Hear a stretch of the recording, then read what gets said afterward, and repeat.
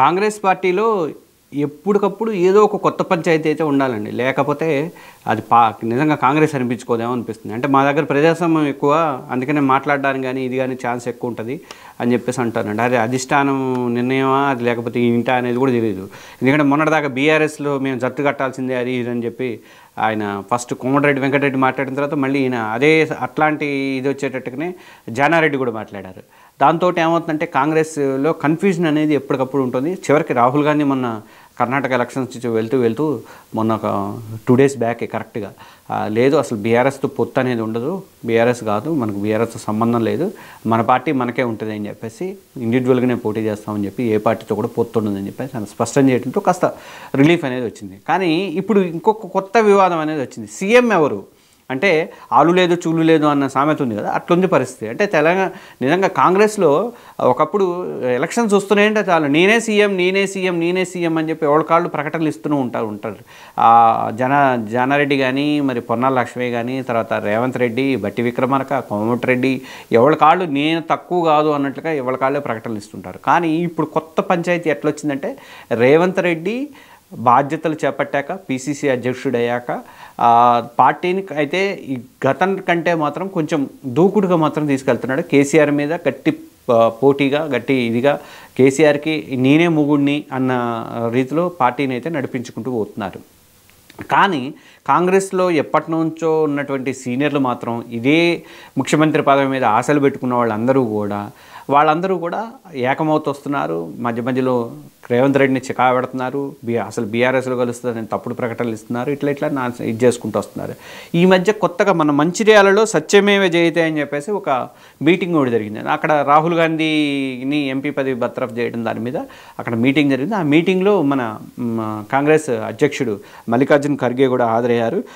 తర్వాత దాంట్లోనే PCC chief Revanth Reddy తర్వాత టీ కాంగ్రెస్ నేతలైనటువంటి ఉత్తమ్ కుమార్ రెడ్డి కోమటిరెడ్డి వెంకటరెడ్డి తర్వాత మధుయాష్కి శ్రీధరబాబు జానారెడ్డి సీతక్క జీవన్ రెడ్డి ఇట్లా మొత్తం అందరూ సీనియర్లంతా కూడా ఒక్క వేదిక మీద కనిపించారు. చాలా ఆశ్చర్యం అనిపించింది. ఆశ్చర్యం ఎందుకు ఏముందంటే అధ్యక్షుడు వచ్చాడు కాబట్టి కంపల్సరీగా రావాలి వాళ్ళు. వచ్చారు అటెండ్ అయ్యారు. అయితే ఇక్కడ కొన్ని అక్కడ చేసినటువంటి కొన్ని సంఘటనలు కొన్ని ఇది అనేది మళ్ళీ ఈ సీఎం దాని మీద ఒక వారం అనేది నడుస్తుందని చెప్పేసి అర్థమవుతుంది మనకి. ఎట్లా అంటే రేవంత్ రెడ్డికి నన్ను బట్టి విక్రమార్క. బట్టి విక్రమార్క సిఎల్పి అధ్యక్షుడు సిఎల్పి నేత.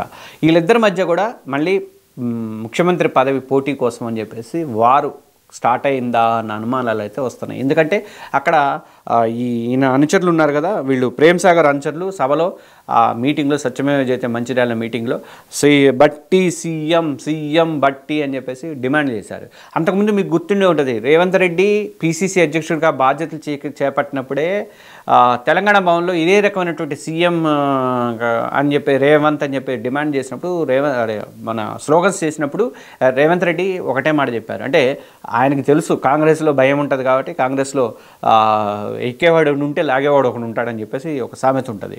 అందువల్ల జాగ్రత్తగా ఉండాలని చెప్పి సీనియర్లతో కలుసు కలుపుకుపోవాలి కాబట్టి ముందే సీఎంగా ప్రొజెక్ట్ అయితే ఉన్నదానికే ఉన్న పదవికే ఎసరు వస్తుందని చెప్పేసి ఆయన భావించి అప్పుడు ఈ నినాదాలు చేసినటువంటి వాళ్ళని గట్టిగా హెచ్చరించాడు. ఇంకోసారి అట్లా మాట్లాడితే సస్పెండ్ చేసి పడేస్తా అని చెప్పి ఫస్ట్ రోజే హెచ్చరించాడు. ఆ రోజు గాంధీ భవన్లో జరిగినటువంటి మీటింగ్లో. కానీ అది సరే మొత్తం ఎప్పటికప్పుడు అప్పటి నుంచి కొంచెం తిప్పలు పడుతూనే ఉన్నాడు. రేవంత్ రెడ్డి పాదయాత్రలు చేసుకుంటూ ఏదో రకంగా జనంలోకి అయితే వెళ్తున్నాడు. అటువైపు కేసీఆర్ కేటీఆర్ మీద సాక్ష్యాధారాలతో తీసుకొచ్చి దుమ్మెత్తి పోస్తున్నాడు ఇవన్నీ తీసుకొచ్చి వాళ్ళ ల్యాండ్ ఆక్రమాలు వాటి మీద అన్నీ బయటపెడుతున్నాడు. తన కథ తన కష్టమైతే తను పడుతూనే ఉన్నాడు. ఇప్పుడు వచ్చేసరికి ఇక్కడ వీళ్ళు సీఎం సీఎం క్యాండిడేట్గా కాంగ్రెస్ నుంచి సీఎం క్యాండిడేట్గా బట్టి విక్రమార్కని ప్రొజెక్ట్ చేయాలని చెప్పేసి మిగతా సీనియర్లు అంతా కూడా భావిస్తున్నారు. ఎందుకంటే ఒకప్పుడు దళితులు ముఖ్యమంత్రి చేస్తాను అని చెప్పేసి కేసీఆర్ హామీ ఇచ్చి ఆయన ఆ పదవిలో కూర్చున్నాడు. తెలంగాణ వచ్చాక చేస్తా అని చెప్పి. అందుకని ఈసారి దళితుడిని ముఖ్యమంత్రి చేస్తామనేది ప్రొజెక్ట్ ప్రొజెక్ట్ చేస్తే అటు దళితులందరూ ఇప్పుడు కేసీఆర్ ఏంటంటే దళిత దళిత ఓట్ల కోసమే మరి బీఆర్ అంబేద్కర్ విగ్రహం పెట్టి నూట పథక అడుగుల విగ్రహం పెట్టించాడు దళిత బంధం ఇంప్లిమెంట్ చేస్తా అంటున్నాడు. ఇంకేదో అంటున్నాడు ఇంకేదో అంటున్నాడు. అందుకని ఆ దళిత వర్గాలని మనము ఆకట్టుకోవాలి. వాస్తవానికి ఏంటంటే కాంగ్రెస్కి దళిత వర్గాల ఇదైతే ఎప్పుడూ ఉంటుంది. దళితులు తర్వాత ముస్లిమ్స్ ఎక్కువగా కాంగ్రెస్ని నమ్ముకుంటారు. కానీ రాజకీయం పరిణామాలు రాష్ట్రంలో రాజకీయ పరిణామాలతో ఏమవుతుందంటే చాలామంది ముస్లిమ్స్ అటు బీఆర్ఎస్కి మొగ్గు చూపారు. దళితులు కూడా కొంతమంది అటు ఇటుగా ఉన్నారన్నమాట. బీజేపీకి కొంచెం తక్కువ మిగతా వాటిలో అందుకే దళితులు ఓట్లు పొందటానికనో ఏమో ఒక కొత్త ప్లానింగ్ అనేది ఇప్పుడు నడుస్తుంది. ప్లస్ రేవంత్ రెడ్డికి చెక్ పెట్టాలి. ముఖ్యంగా రే దళితుల ఓట్ల కంటే కూడా రేవంత్ రెడ్డికి చెక్ పెట్టాలి అనేది వీళ్ళ ఆలోచన సీనియర్ల ఆలోచన. అందుకని చెప్పేసి వీళ్ళు బట్టి విక్రమార్కను ప్రొజెక్ట్ చేస్తున్నారు. ఇంకొకటి ఏంటంటే ఇక్కడ బట్టి విక్రమార్క ని కోమటిరెడ్డి వెంకటరెడ్డి వైఎస్తో వైఎస్ రాజశేఖర రెడ్డితో పోల్చాడు. అప్పట్లో రాజశేఖర రెడ్డి పంచగట్టుకొని ఆయన పాదయాత్ర చేస్తున్న సీన్ గుర్తుకొస్తుంది. ఇప్పుడు బట్టి విక్రమార్క నడుస్తుంటే అని చెప్పి ఆయన కోమటిరెడ్డి వెంకటరెడ్డి అన్నాడు. వైఎస్ఆర్ని చూస్తున్నట్టుందని చెప్పేసి కితాబ్ ఇచ్చాడు అలాగే అంటే అధికా అధికారంలో కాంగ్రెస్ అధికారంలోకి వస్తే దళితుల్నే సీఎం చేయాలని చెప్పేసి కూడా ఆయన డైరెక్ట్గా ఆయన కామెంట్స్లోనే అనే అనేసాడు అనమాట అంటే పరోక్షంగా బట్టి విక్రమార్గం చేయాలన్న టాపిక్ అయితే వినిపిస్తుంది. కానీ ఈ ఇదే ముఖ్యమంత్రి పదవి మీద మాత్రం నిజంగా రేవంత్ రెడ్డి అయితే కంపెనీ ఆశలు అయితే పెట్టుకున్నారు.